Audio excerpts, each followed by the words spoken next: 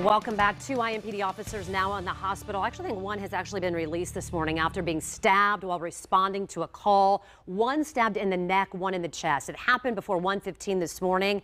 The officers responding to a report of a disturbance. Police say a man told them he was being harassed by another person. When officers began to investigate, police say it was that man that stabbed an officer in the neck, again the other in the chest. They are both going to survive. We know that. The suspect, though, shot by police, has non life threatening injuries. We know the suspect is the one that made the 911 call. No one else is involved. This morning, we want to talk more about the heroic actions that took place early this morning. And Rick Snyder uh, with the FBI, FOP is here. Long morning for you. I know you yeah. said, hey, I'm casual, I'll come in. I want to just dive right into this part about these heroic actions.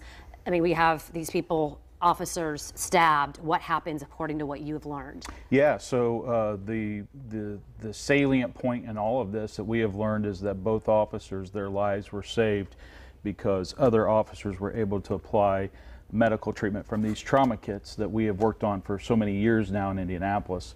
And I just wanted to take the opportunity to thank our community.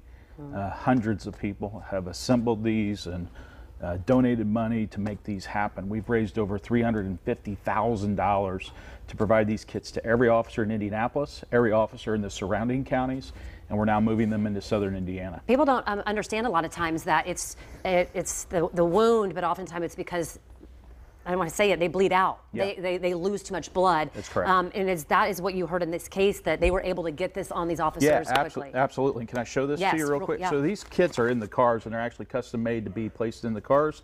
The officers can assemble them, grab this red tab, pull them away, and then they've got the use of them. There's only four components in here, yeah. one of which is a tourniquet, which is used often to uh, save lives and stop bleeding. Uh, one is an OP airway. Okay. The other one is trauma shears. The key component uh, this morning is uh, this bandage. And the okay. key thing with these bandages is they open right up mm. and then inside them uh, they're loaded with gauze. Okay. And so that gauze can be pulled out, applied to the wound, and what that does is that begins the clotting process mm. to stop that bleeding out. So you have an officer literally stabbed in the neck, across the throat, and another officer in the chest.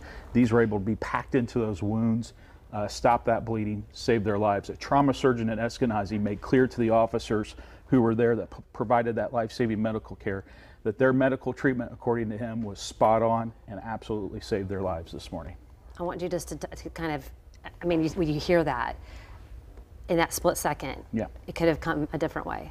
Yeah, but here again, we're grateful to God. Yeah. And we're also grateful to all the people that make these kits happen because without these, we could have very different yeah. circumstances. And, and that doctor made clear it was that medical treatment right there yeah. on the scene, and then these officers were immediately loaded into police cars and You're not waiting right for an ambulance. Do you, was it the officer himself putting it on, or was it another? Did other officers get there to be able to apply? Actually, what it sounds like is both. Okay. Uh, it was a team effort, and it goes back to this to this superb training our officers get in Indianapolis, we, not just for each other, but for our citizens yeah. as well. We appreciate you um, telling about this, and hopefully at some point we'll be able to see more about how that worked this morning and save those lives. Really quickly, because I got to toss to break, but you have a news conference today because we also had a homicide overnight, and we've reached record-breaking homicides in. Again, yeah. And so uh, we're going to be talking about that, but also sharing some of the legislative objectives we have for our state house this Thank upcoming session. Thank you for sharing that, and hopefully even more money coming in for more kids. Thank you to everybody Absolutely. who makes it happen. We'll be back right after this.